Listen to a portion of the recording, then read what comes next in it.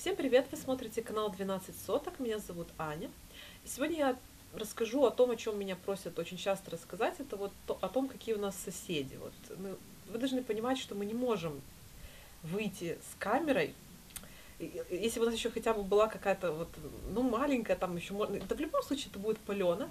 Мы не можем Ну, с камеркой можно, но фотик на штативе. Да, но я представляю себе, то есть люди сидят у себя там в саду, я выхожу с камерой, ставлю на них камеру, то есть я думаю, что их это как бы испугает, то есть они не поймут, почему да какое ты право вообще имеешь меня снимать на моей частной территории? Это бред какой-то. Поэтому так снять сложно, именно самих людей. Но я могу примерно рассказать, на, основываясь на научных фактах, на статистике, какие у нас есть соседи. И вот Ярослав сделает пролет на квадрокоптере и покажет наших соседей и в целом, как вообще выглядит, вот как у нас располагаются дома. Это, мне кажется, немножко интереснее, чем ходить по улицам, потому что улицы примерно все одинаковые. Плюс а сверху грязь эту всю не видно. Да, сверху не видно, если кто-то бросит там бутылку. Ну, так вот здесь. Они действительно любят бросать на землю. Значит, наше село находится, э, значит, э, в Википедии почему-то не написали, когда его построили, хотя это важная информация. Ну, пишут, что у нас население 1263 человека. Это, это не этого года статистика, уже побольше, я думаю. Самая большая возрастная группа 49-59 лет – это 20% от всего населения. 96,7 э, из Великобритании и 1% из 1,2% не из Евросоюза. Ну, я думаю, что уже поднялось чуть-чуть. с этим Евросоюзом, что-то я не поняла, почему именно не из Евросоюза, откуда тогда? И также есть школа, в ней 155 учеников от 3 до 11 лет. Но я думаю тоже, что побольше сейчас. Школа была основана в 1990 году, до этого не знаю, где они учились. Но так как Википедия какая-то скучная, ну, я могу, конечно, сделать такую рубрику, читать разные разделы из Википедии просто своим голосом и смотреть в камеру. Биографии великих Да, людей. биографии великих современников там. Не, лучше не из Википедии, лучше из этой. Есть смешная, это как же она называется, где Лурк Мор, там смешно про, вот, про мемы всякие. Но они, правда, иногда оскорбляют людей. Вот, я расскажу, кроме Википедии, есть еще социальная статистика, социально-экономическая про наше село. И вот по статистике очень интересно э, про домовладение. Оно тоже за 2013 год. У нас э, там, сейчас я бы хотела точно сказать, сколько. Ну, в общем, короче, вы поняли, 70% людей, э, 70% домов, они выкуплены. Или сейчас выкупаются, или уже принадлежат людям. Потом процентов 14-15 это кто снимает у муниципалитета, процентов 5 снимает у этой Housing Association, это какая-то ассоциация по расселению людей. Я не знаю, как они работают, мне что-то там на работе рассказывал Майк как-то, но там, короче, так было завернуто, что я еще тогда не очень английский, ты понимала. Я так, да, да. Эм, как, не, не то, что не очень, но вот эти терминологию, там вот эти все какие-то финансовые как бы сложно понять. Э, и есть очень смешной показатель 0,3 человека имеют shared ownership. Это он типа с муниципалитетом наполовину, это его или лоханули, или он что-то тоже так, может, ему что-то объясняли, он такой, да, я куплю, да. Я не знаю, кому так повезло, что-то странное. Потом э, на пособиях здесь по статистике находится 25% людей, но они считают всех, они считают 25 от населения, от детей, от пенсионеров, а пенсионер не считается, что он на пособиях, он получает пенсию, ребенок тоже не считается, а детей куча, это тоже огромная возрастная группа.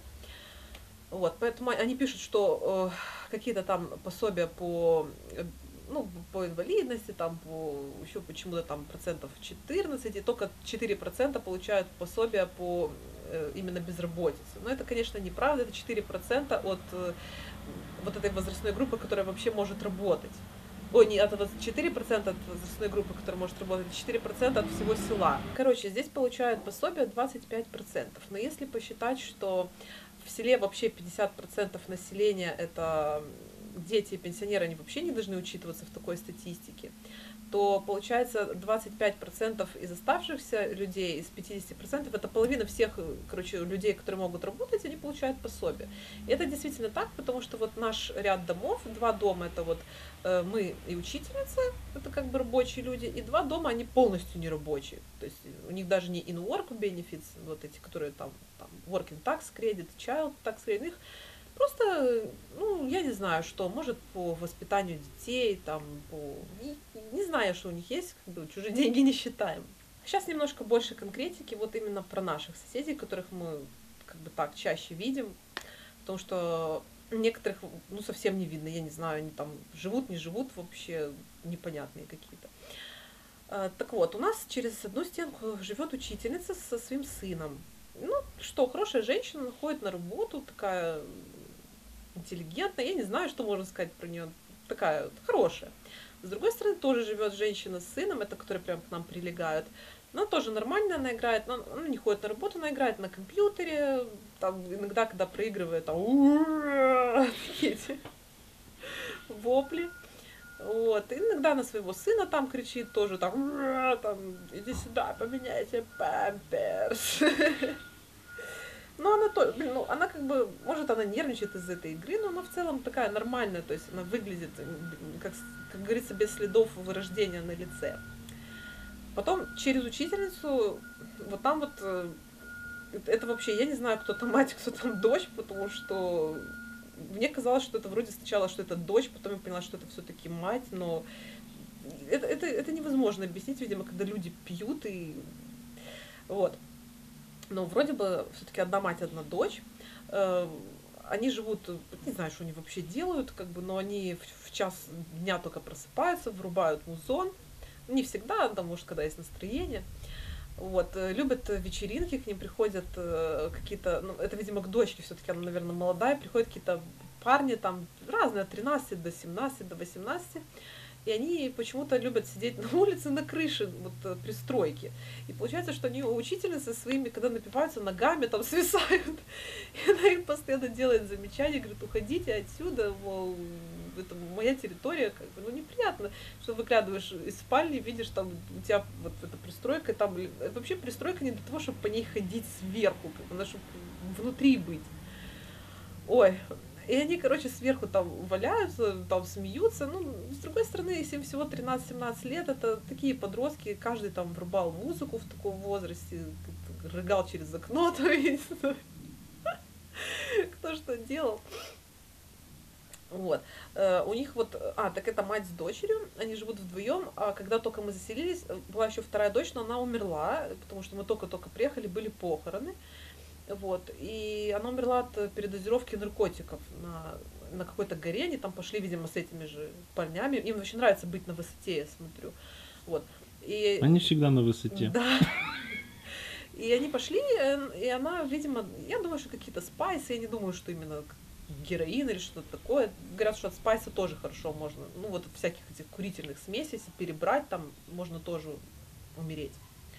А мать э, вот этой семейства этого, она э, как-то Ярослав ехал с работы на автобусе, и говорит, какая-то женщина говорит, бомжеватого вида сидит, говорит, и под сиденьем прячется от водителя и пьет вино прямо в автобусе из маленькой бутылочки. Он говорит, я так посмотрела на нее, думаю, ну ладно. И он еще тогда не знал, что это наша соседка, вот оказалось, что это она. Вот. А что касается людей, которые живут по кругу, то довольно много пенсионеров таких приличных, ходят с собачками, гуляют. Ну, я бы, вот я бы так и сказала, что здесь 75-80% вообще полностью нормальных, но 20 есть. Ну, такой район. И что интересно, по кругу села все дома э, или их раньше построили. Или я не знаю, в чем была суть. Я думаю, они более престижные. Может, они более престижные, потому что ты, получается, с краю, у тебя прям лес, и ты открываешь окно, у тебя так листья шелестят, птички поют, очень красиво. Мы прям там гуляли, мы проходили мимо. И я говорю, вот представь себе, открываешь окно, и такой звук. Казалось бы, тоже та же самая деревня, просто на одну улицу выше, совершенно другой антураж получается.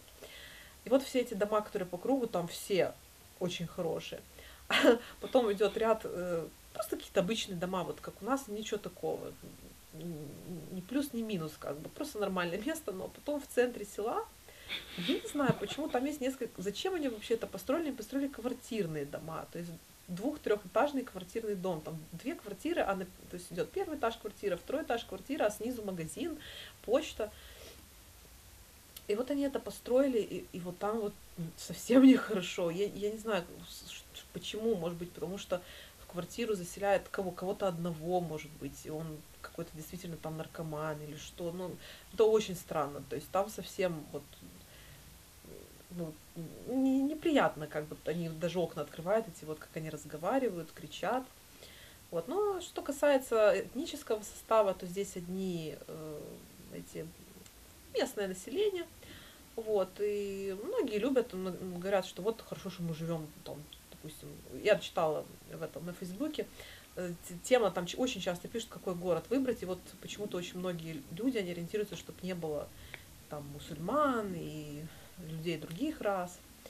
Это странно, честно говоря, потому что мы как бы жили, где мы там в Кардифе? Сколько мусульмане это не раса. Нет, так я мусульман и негров хотела сказать, но сказала поэтому других рас. Что ну, сейчас ладно. же некрасиво уже говорить негры. И вот мы в Кардифе жили нормально, просто они иногда стоят так, чисто у тебя под окном травку могут покурить, такие как бы не паленые. Вот. Ну, я серьезно, я бы на это не обращала внимания. Может быть, я не знаю, может быть, если бы меня занесло в большой город, именно в такой район, там, где действительно одно какое-то африканское население, может быть, там бы было как-то по-другому. Я не думаю. Мне почему-то не, не кажется, что это такая серьезная проблема. Я думаю, это преувеличено все. А, как я уже говорила, село было построено там в 70-х, 60-х. Надо вообще это почитать. Тяжело найти. Вот даже Википедия, же говорю, не говорит точную информацию.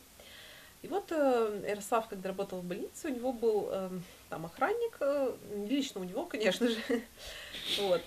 И он раньше жил в этом селе, как оказалось, и он такой вот, они любят, говорит, да, говорит, там одни эти были инвалиды, наркоманы, матери-одиночки, построили, всех туда скинули.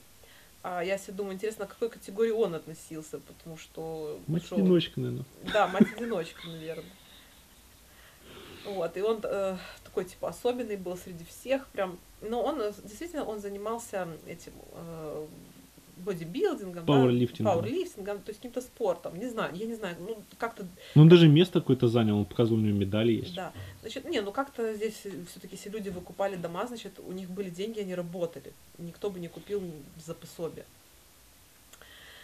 И он говорит, что когда вот он здесь жил, так ему стоило уехать там на три дня, на неделю, его все время воровали уголь из дома, залезали через окно, были такие алюминиевые окна, и по пристроечке такой через окно, через коридор, и его там, ну, кучу раз вообще обкрадывали, он говорит, вот этот грязный уголь, прям все берут. Но я говорю, если холодно, и не такое возьмешь, чтобы согреться. И вначале было стрёмно, но сейчас уже нормально. Просто может то, что вот дома такие серые, там, может, первое впечатление может как-то быть таким обманчивым. То, что мы здесь, кстати, в селе же были на одном пожаре, и, а я не знала, если бы я знала, я вообще бы прямо туда, вот, я знала, где был пожар, в каком доме, и я бы прям сюда подошла, а я приехала туда, в Кардив, на работу, э, этот Майк, напарник, говорит, вот мы едем в Карфиле, и почему-то его этот навигатор, Сатнав, вообще вывел через такую дорогу, что я поняла, что мы подъезжаем к селу только когда мы уже к нему подъехали. То есть есть гораздо более приятный, ну как нормальный путь через трассу, а нас вывело через леса какие-то там, через какие-то живописную местность. И вот мы там э, очистили этот дом, все. И он говорит, э, а, и надо было, мы за день не успели, он говорит, на второй день надо будет прийти. И я говорю, так надо оставить здесь э, пару этих мешков, у нас такие там тряпки специальные. А Майк говорит, я здесь ничего не буду оставлять. Ну, блин, ну, тоже не надо так совсем думать, ну, кто придет ворвать черный пакет с какими-то тряпками, это вообще, я понимаю, люди сидят на пособиях, там, ну, ты не знаешь, что они какие-то криминалы, там, по-разному жизнь складывается. Ну, тут их процент выше. Да не, не на эти тряпки, они... я уверена, что им просто не нужно. Все, заберем и наш пылесос там 1940 года или какого. Ой, это смешно что вот такое видео, небольшой обзор наших соседей. Простите, что без фотографий, без паспортных данных. Следующие видео, я уже надеюсь, будут не из эм, дома. Мы хотим поехать эм, на пляж. И я там, э, ну, вообще-то мы уже ездили, но мы не брали камеру, потому что, во-первых, мы хотели купаться, во-вторых, там надо было посмотреть ракушки, пособирать, э, ходили по окрестностям, и еще, честно говоря, снимать как-то, ну, только вот фотоаппарата со штативом не хватало. Вот. А завтра мы тоже поедем, надеюсь, что прогноз правильный и будет солнце. И э, хочу снять видео про пляж. У нас есть очень старый такой мезозойский пляж. Ну, сколько там, час ехать, да? Там, ну, если человек едет нормально, быстро, может, он и за 40, минут, 40 минут доедет. Так как я еду... Ну, вот. Ну, и второе видео есть э, подборка вопросов с канала, на которые я не успевала ответить, именно напечатать или там с телефона, потому что, во-первых, они не все отображаются с телефона, комментарии. Вот, так что я еще запишу видео ответы на вопросы. Там, конечно, есть такие странные вопросы. Самое главное, даже сейчас уже ответить на вопросы. Я все время забываю, потому что меня спрашивали, тут у меня шрам такой был, на старом еще видео спрашивали, это аппендицит или аборт? Какой аборт через бок? Это вообще какое-то что-то странное, это аппендицит. Это вот ответ на вопрос первый, но его не буду, конечно, больше озвучить, такая глупость. Вот. Спасибо за просмотр, ставьте лайки, подписывайтесь на канал.